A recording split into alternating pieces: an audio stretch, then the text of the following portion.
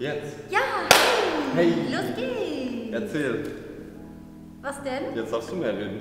Nee. Ich bin Leo. Das ist Lena. Wir haben, eine, wir den. wir haben eine Tanzschule.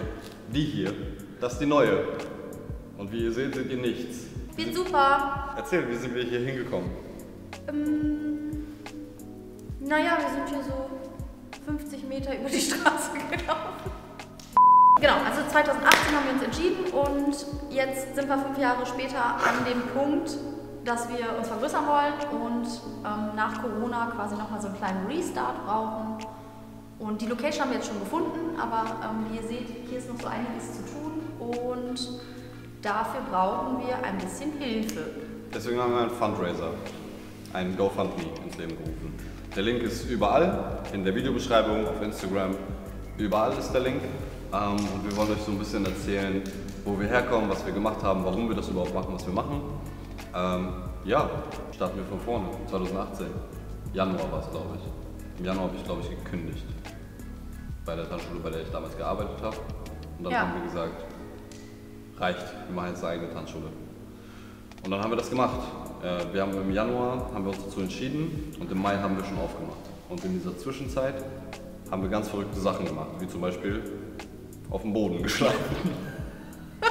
Wir brauchten ein Büro, dann ist halt mal kurz das äh, Schlafzimmer musste weichen und wir haben dann halt einfach im, ja, im Wohnzimmer geschlafen und im Schlafzimmer gearbeitet. Wir wussten Nee, nichts, gar nichts. gar nichts. Wir haben es einfach gemacht.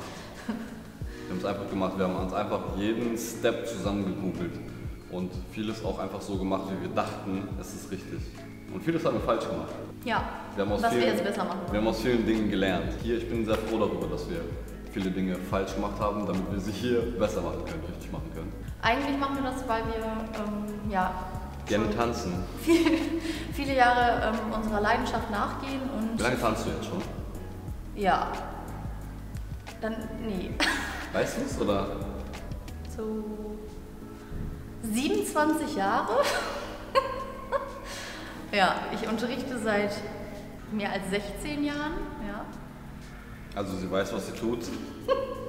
Ähm, nein, aber wir haben eben äh, uns nie dort, wo wir, wo wir gearbeitet haben und ähm, vor allem ja meistens auch nebenberuflich, das noch nicht so aktiv, wie wir es heute tun, weil wir einfach uns nirgendwo so verwirklichen konnten, wie wir es wollten oder wie wir uns das vorgestellt haben oder was wir unter Tanzen verstehen, beziehungsweise überhaupt aus dem ganzen Streetdance-Bereich, was wir daraus machen wollen.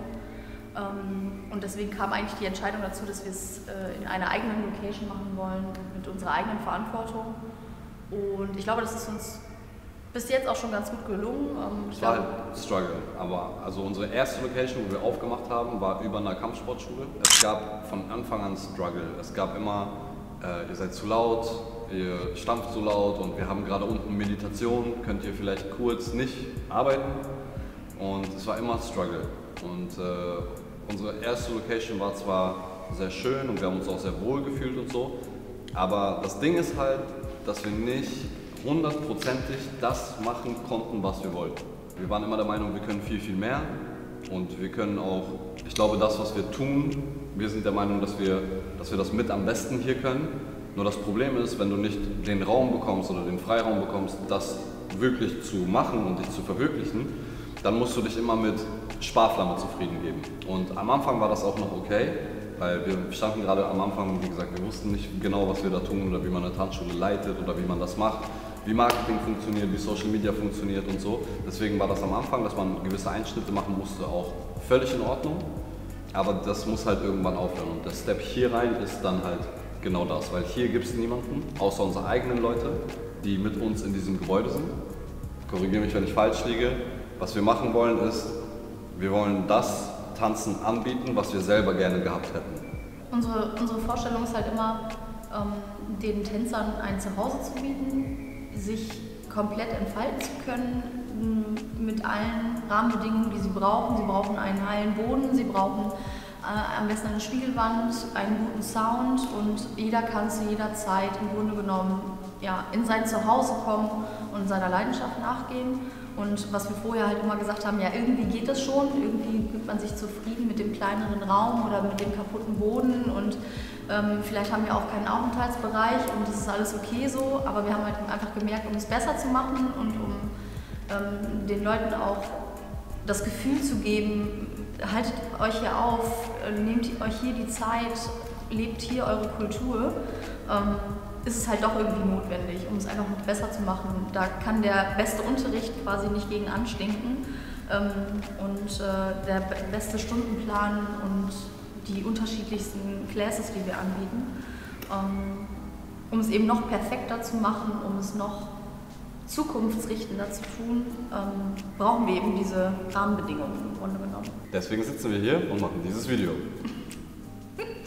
ähm, ich glaube, jeder kann sich vorstellen, eine Tanzschule lebt davon, dass man große Tanzsäle hat, ähm, die beleuchtet werden wollen, die ähm, ja, am besten mehr als 20 Tänzer irgendwie unterbringen und ähm, so ein Quadratmeter äh, kostet halt in Osnabrück auch schon so einiges und deswegen mussten wir halt vorher immer das nehmen, was wir kriegen konnten. Wir wollen halt jetzt starten und in wenigen Wochen bereits hier den ersten Unterricht geben.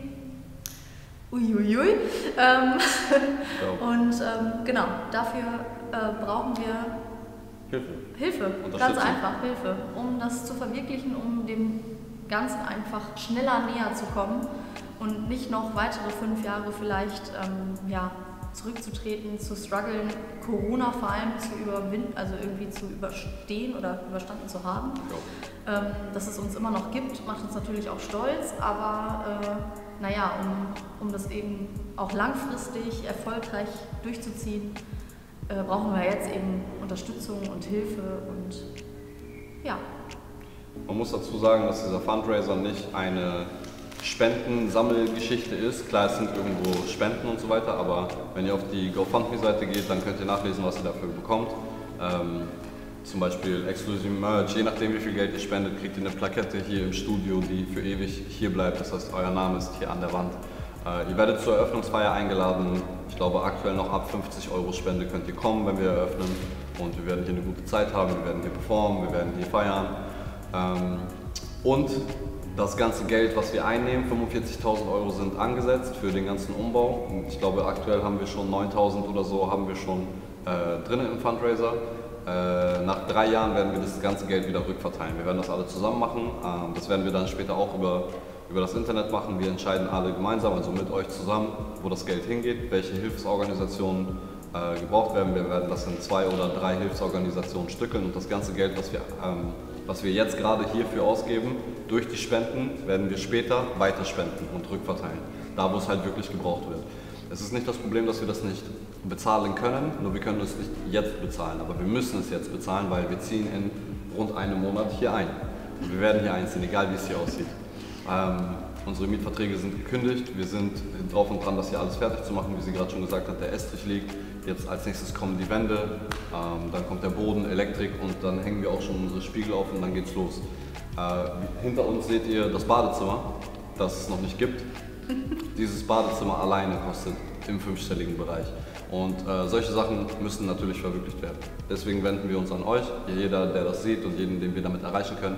Äh, jeder Cent, jeder Euro, jede Spende hilft uns. Alles mit Herz und dankbar angenommen. Und äh, ja, auf die nächsten fünf Jahre. Ja. Vielleicht. Und dann mal gucken. Mindestens. Minimum. ja, cool. Tschüss.